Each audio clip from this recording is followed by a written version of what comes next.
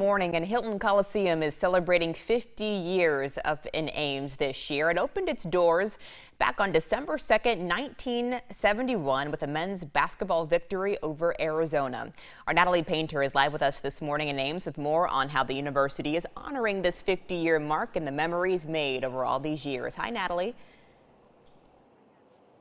Hello, Jody. Good morning. I spoke with the Senior Associate Athletic Director here at ISU, who also happens to be an ISU alumnus, and he said that while college athletics have changed quite a bit over the years, it's the Cyclones fans and athletes that have made this place behind me so unique over the years.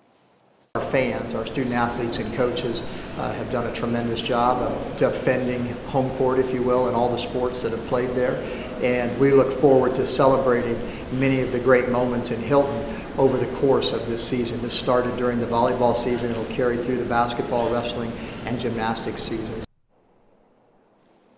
Now, with various ways to honor the anniversary, there will be memorable videos posted to social media to honor athletes over the years. And they are looking for ways to identify people who have held season basketball tickets for all 50 years and trying to recognize them near the end of the season. Now, when it comes to sharing memories, Iowa sports fans always have a favorite, especially when it comes to what it means to be an Iowa State basketball fan.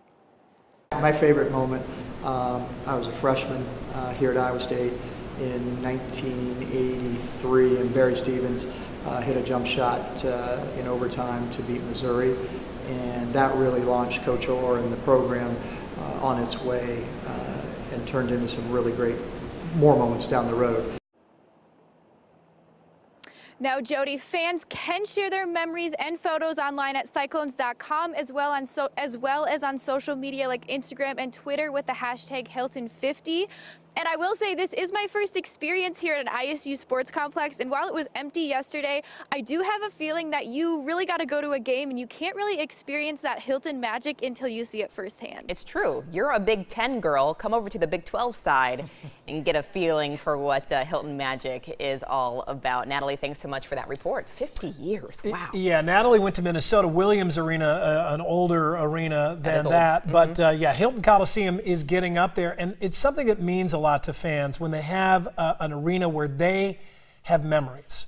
Um, whether it's as a student or for a lot of these Cyclone fans, they grew up with their parents bringing them to games. Yeah. They remember being a kid in that arena and then maybe being a, a, student at Iowa State and now just a fan outside of school. So it's so important to keep these old arenas in circulation, but of course keep them updated. And uh, Iowa State has updated Hilton Coliseum a lot. Yep, 50 more years in store for them for sure. All right, we're heading